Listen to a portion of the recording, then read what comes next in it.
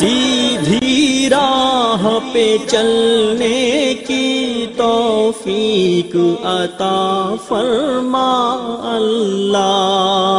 یا اللہ یا اللہ۔ یا اللہ سائل کہتا ہے نماز میں سجدے میں جاتے وقت پہلے ہاتھ یا گھٹنے لگانے چاہیے۔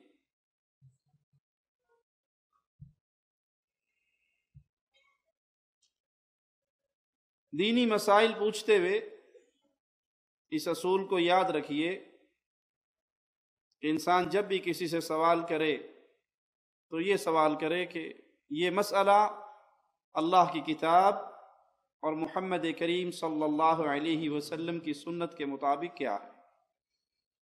جب قرآن و حدیث کو سامنے رکھ کے سوال کیا جائے اور اس کا جواب قرآن و حدیث سے دیا جائے تو انسان خیر کے اوپر ہے۔ خرابی اور برائی وہاں پیدا ہوتی ہے جہاں قرآن اور حدیث کو چھوڑ کر اپنے اپنے فرقوں اور بزرگوں کی اقوال کے اوپر مسائل پوچھے جاتے ہیں۔ لیکن اگر مقصود حدیث کو لینا ہو اور حدیث کے سمجھنے میں اختلاف ہو جائے۔ دو گروہ، دونوں کا مقصد حدیث کو لینا ہے، حدیث کے مطابق فیصلہ کرنا ہے۔ لیکن حدیث کے سمجھنے میں اختلاف ہے، کیونکہ مقصود محمد کریم صلی اللہ علیہ وسلم کی حدیث پہ عمل کرنا ہے۔ شر وہاں پر ہے، جہاں پہ آپ کے سامنے پیارے نبی علیہ صلاۃ والسلام کی سنت آپ کا فرمان، آپ کی حدیث واضح ہو گئی، لیکن اس حدیث کو اس لیے ٹھکرا دیا جائے، اس کا اس لیے انکار کر دیا جائے کہ وہ فلاں حضرت کے قول کے مطابق نہیں یا فلاں بزرگ کے قول کے مطابق نہیں۔ تو یہاں پہ انسان بدعقیدگی کی گمراہی میں گر جاتا ہے۔ حالت نماز میں جب انسان سجدے میں جائے، اس مسئلے میں علماء کے درمیان اختلاف ہے۔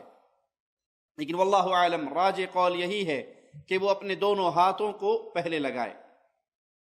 لیکن اگر وہ دو گھٹنوں کو بھی لگا لیتا ہے، کیونکہ اہل علم کے درمیان اختلاف ہے اور اختلاف کسی مذہب کی بنیاد پہ نہیں، حدیث کو سمجھنے میں ہے۔